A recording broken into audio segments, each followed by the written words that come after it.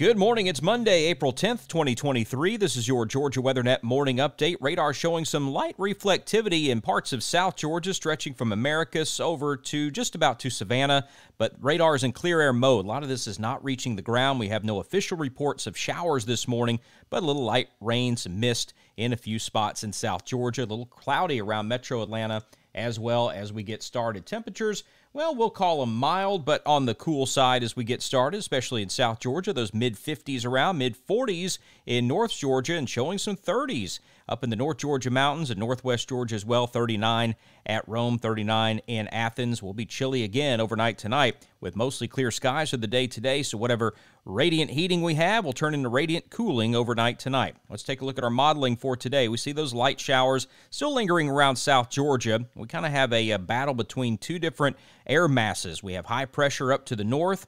We have low pressure down in the Gulf of Mexico, bringing a few showers in that way. So that's why we have uh, the possibility of some rain in parts of South Georgia today. Middle Georgia are going to be right on the edge, but North Georgia looks nice and sunny as we see through the afternoon hours. Those uh, light showers still possible, especially in the southwest corner of the state. Moving through the overnight hours, going to continue to keep that high pressure locked in toward the north. So we start out with mainly clear skies, north middle Georgia tomorrow morning. So that means chilly temperatures, clouds, maybe a few showers along the coastline as we get started. And still that rain chance just lingering around through the afternoon and evening hours for tomorrow. As we head into Wednesday, high pressure still locked in. It's not going anywhere well until maybe Thursday. So let's roll through Wednesday first. We see uh, still pretty nice conditions across the state of Georgia. Some showers and thunderstorms starting to develop out in the Gulf, out toward Mobile to the east of New Orleans.